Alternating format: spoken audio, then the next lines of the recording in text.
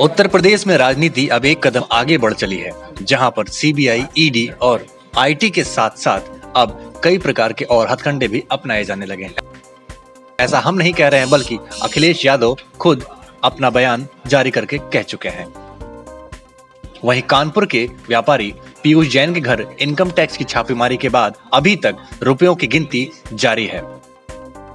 अब तक में सात मशीनों के ज़रिए उनके घर से 160 करोड़ रुपए कैश बरामद हो चुके हैं। पीयूष जैन वही कारोबारी हैं जिन्होंने समाजवादी परफ्यूम यानी कि इत्र लॉन्च किया था। जिनके साथ में अखिलेश यादव ने कहा था कि इस इत्र से ही हम भाजपा को हटाएँगे।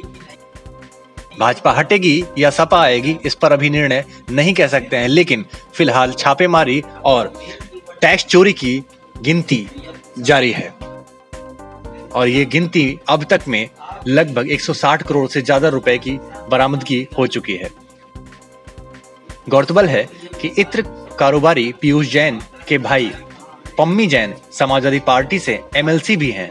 हाल ही में पम्मी जैन ने समाजवादी इत्र भी लॉन्च किया था।